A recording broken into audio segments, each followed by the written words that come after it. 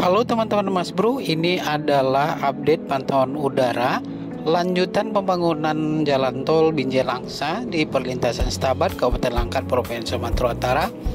Kurang lebih seperti ini kondisi dan situasinya saat ini pasca lebaran ya teman-teman Mas Bro. Dilanjutkan kembali pembangunannya seperti yang teman-teman Mas Bro lihat di video udara ini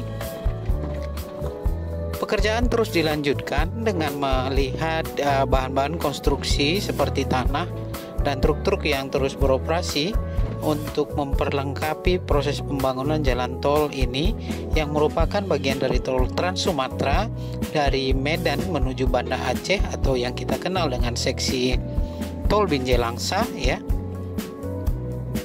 Dan kita berharap uh, proyek ini akan segera selesai dan dapat dimanfaatkan oleh masyarakat umum khususnya pengguna jalur transportasi dari uh, Medan menuju Banda Aceh dan sebaliknya. Mudah-mudahan informasi ini dapat menambah wawasan teman-teman Mas Bro di mana pun berada. Jangan lupa like kalau Anda suka, share untuk berbagi informasi kepada yang lain dan subscribe agar dapat notifikasi dari kami. Terima kasih sudah menonton.